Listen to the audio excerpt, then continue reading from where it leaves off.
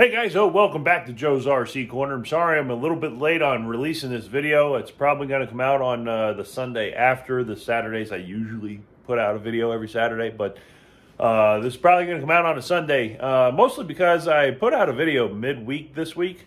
So uh, uh, that was technically supposed to be for this weekend, but uh, I was so excited that we had that engine running that uh, I needed to go ahead and post that and share that with you guys because that was a huge accomplishment and a huge milestone for me and the Cricket here. So, um, what we're going to do this week, well, stay tuned. Let's see.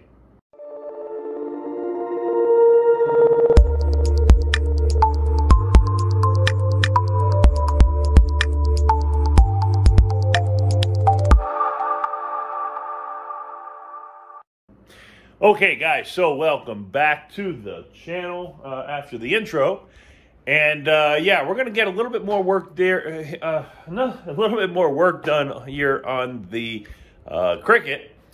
And one of the things that we are going to get done, um, I just wanted to give you guys some updates and also just a little bit of work here. We're not going to get a whole lot done this weekend.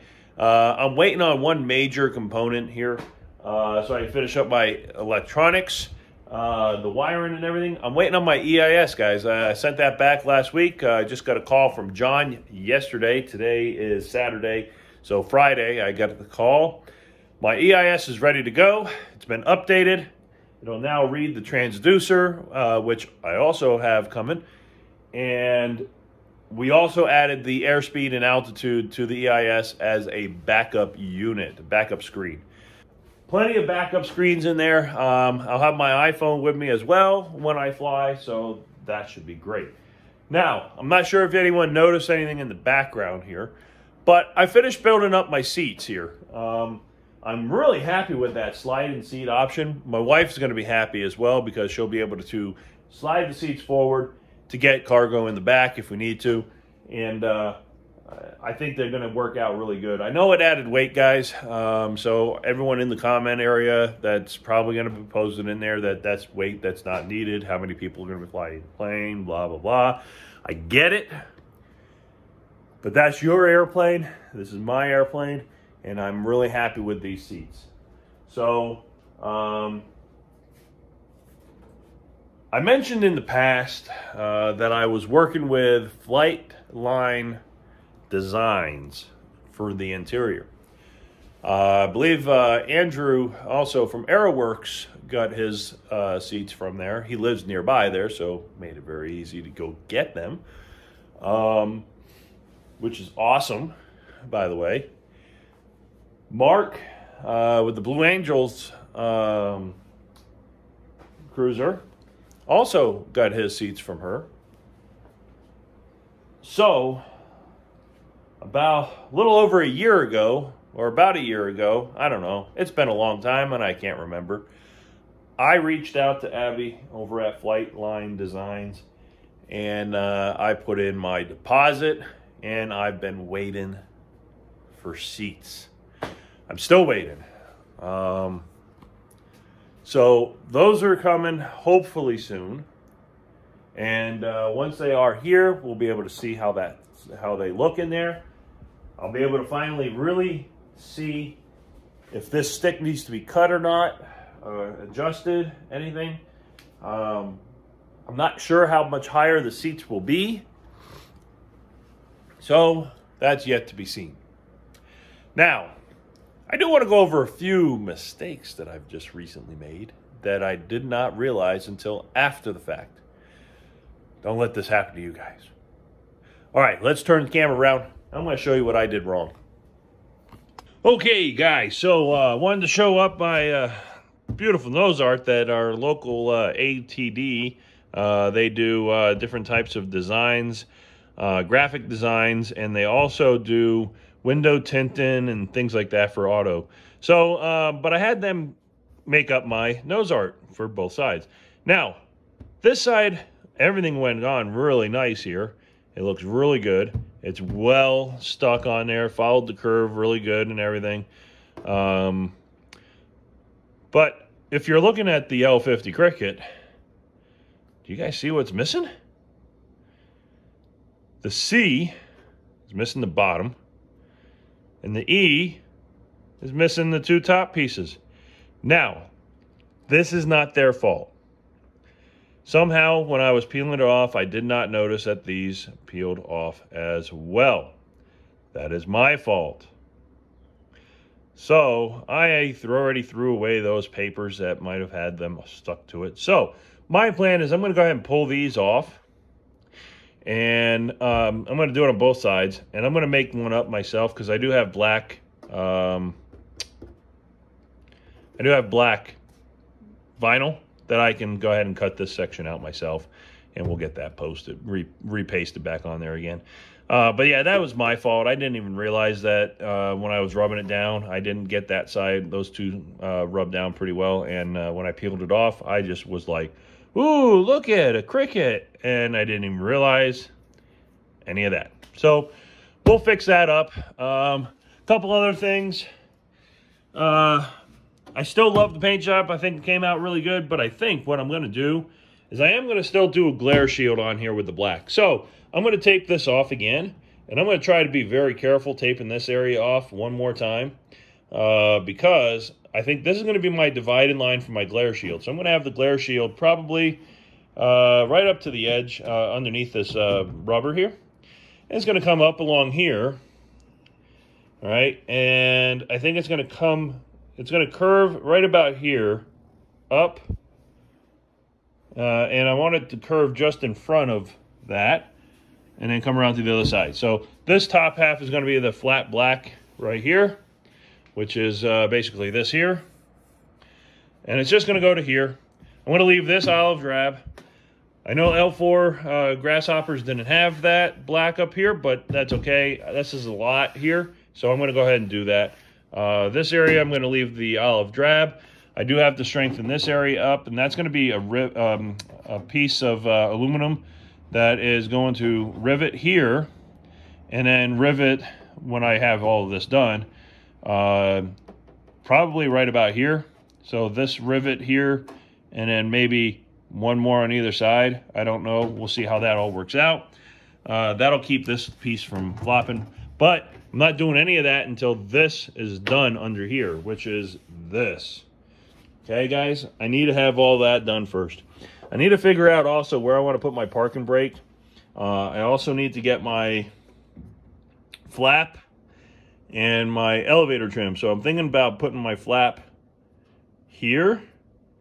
Or no, yeah, flap here and my elevator trim here. So right next to each other here. I think that'll work out good. I can reach it when I'm using my throttle. And that'll be nice. Um, I need to finish up a few things down here and get things tied up. I am going to probably have some of my wiring. I'm actually debating whether I'm going to bring all of my wiring through the center console here. Uh, I know that I have to be very careful because of the elevator uh, and also my rudder cables that are coming through. So I'm going to try to tie as much as possible down to the bottom because don't do what I did, guys you could have I could have ran a lot of wiring down through here and I probably still can run some in here. I do have a hole right here, but uh, and I do have one on that side.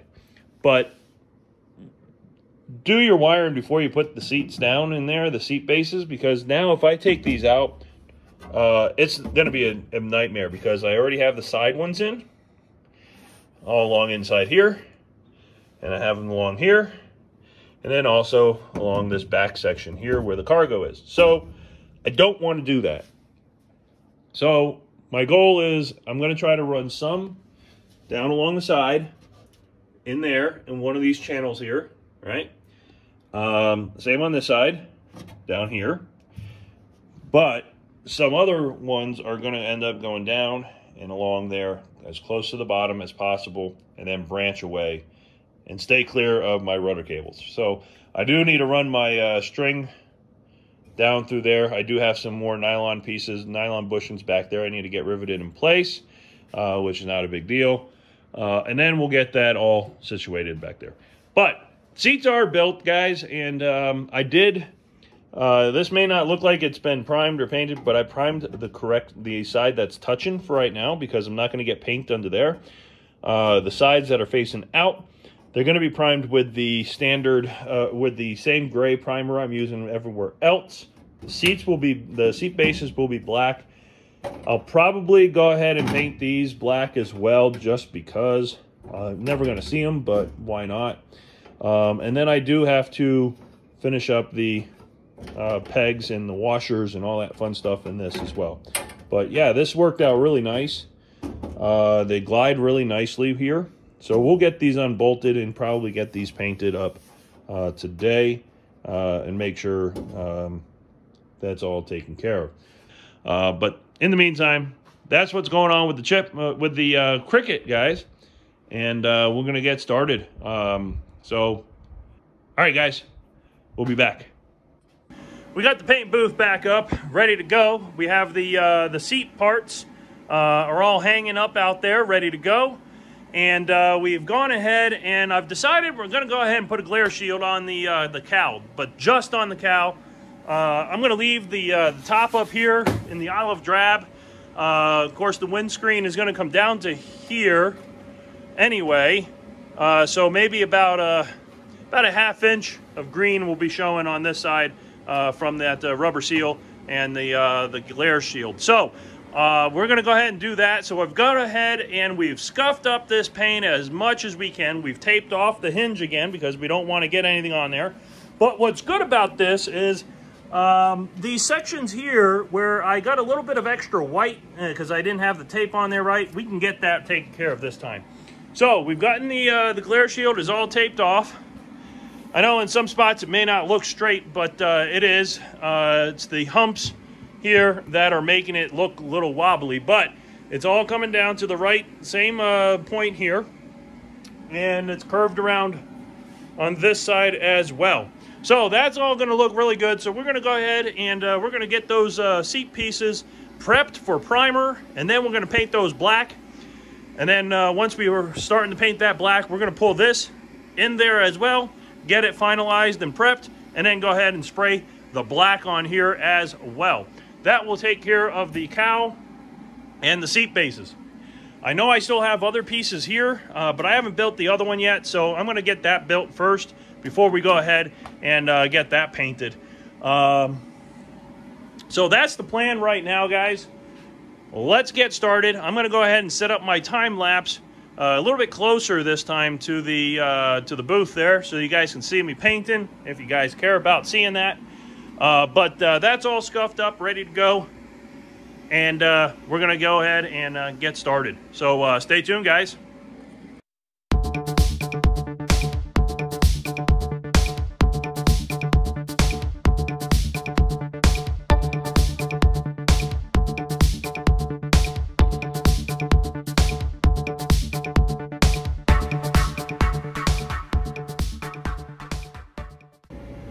Guys, all right, so welcome back. And as you can see, I got my paint gear on because we went ahead and we did prime up all of the, uh, uh, the seat parts are all primed.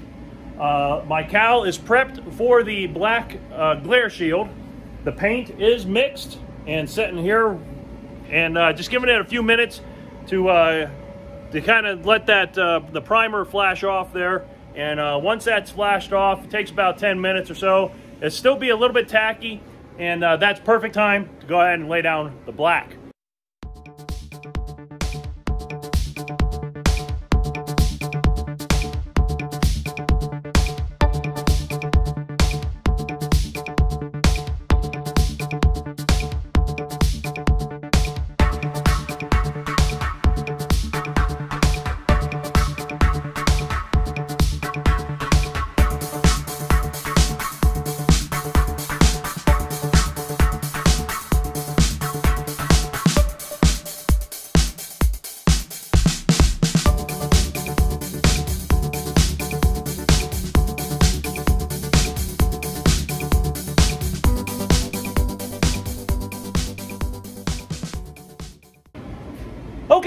Welcome back. And after the time lapse here, we got the uh, seat bases are all painted black. I had enough paint to paint the uh, the cowl uh, with the uh, the flat black on the top and I was also able to go ahead and paint the seat backs, the frames.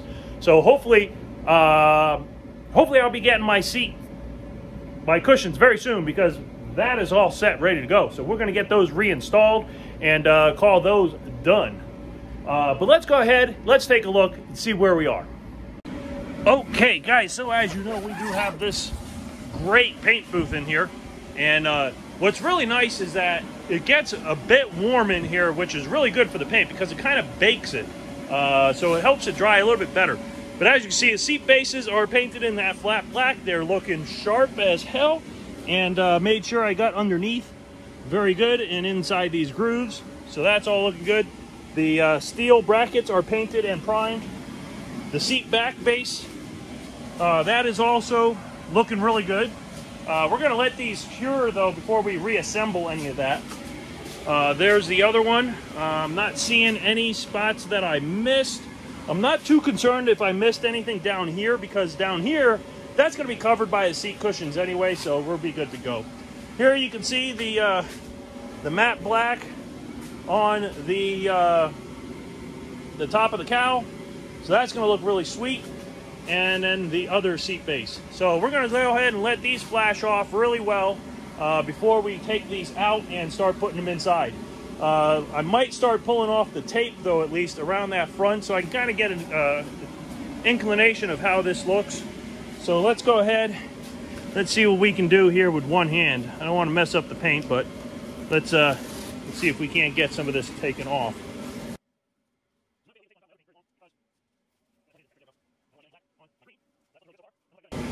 There we go. We'll pull that away, just like so. Beautiful. All right, so to get an idea of how that's going to look, guys, I like it. It's going to look pretty sharp on there. That'll be my glare shield. All right, guys, so uh, that's all we have. Uh, this pretty much all we're going to be getting done for this portion of it here, guys. Uh, so we will uh, go ahead and uh, I'll leave the time lapse up for a little bit longer, but uh, we'll let this cure and set off. And then we'll go ahead and get the cow at least reassembled back on the plane. Let that cure there because it's a little better for it to cure on the airplane. No one will touch it. It's just there out of the way. And other than that, that's pretty much it. My EIS uh, will be here next week, so maybe next week we'll start working on some of the avionics, wiring harness, and so on. Try to get that kind of situated. Um, but yeah, that's pretty much it for today, guys. Make sure you hit that subscribe button. I am so close to that thousand mark. Go ahead and hit that subscribe button. Make sure you hit the bell for the notifications on the next videos if you're interested in wow the cricket's coming out. And uh, if you're interested in RC, once the cricket's done, we're going to get right back into that and start building some more kits because I got some more planes there to build. So make sure you do subscribe, guys. Hit the like button if you like what you see. Put some comments down below if you have some uh, some insight. Uh, I know a lot of guys have gone a lot further than I have. So if you have some insight, put that down below as well. I'm always open to more uh, knowledge and learning new skills. So please go ahead and do so. Without further ado, guys, that's it. I'll catch you guys on the next video. Keep building, keep flying.